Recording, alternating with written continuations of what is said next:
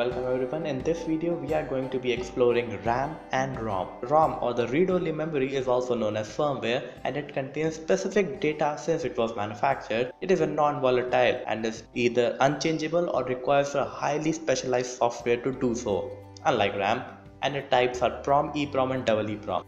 So first let us see the PROM or the programmable read-only memory.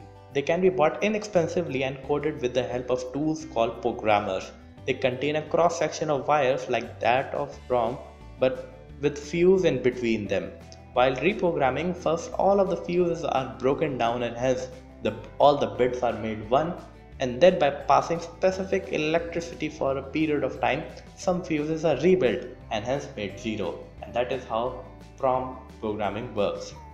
Next comes the EPROM or erasable programmable read-only memory and they can be rewritten many times but using a special software which emits UV light.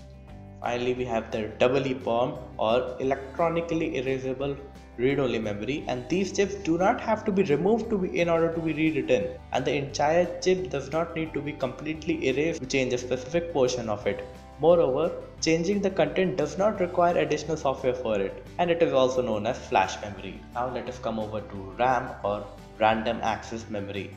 It can be of three types SIMM, DIMM and NVRAM and it also can be static RAM or dynamic RAM where dynamic RAM is mostly in our computers and it gets refreshed a thousand times per second and that is why it is slower with static RAM no need to go refreshing but it is expensive and that's why we do not have usually have it in our computer. But let us look at the other criteria of SIMDIM and NVRAM so first we have the single inline memory module RAM. And in it the memory modules are combined in a single chip.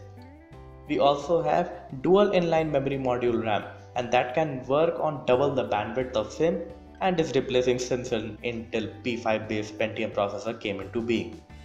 We also have NVRAM or non-volatile RAM and it retains its memory even when power is switched off and its most popular form is flash memory. It is also used in EEPROM and also in RTC NVRAM which is real-time clock or ferroelectric RAM and also in magnetoresistive RAM.